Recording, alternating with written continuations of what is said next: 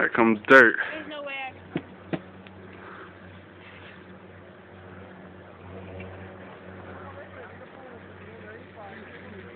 He slowed down. Nope.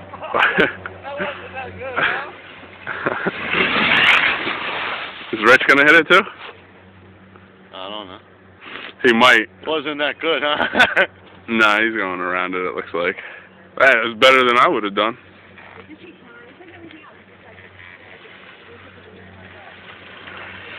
Uh -huh.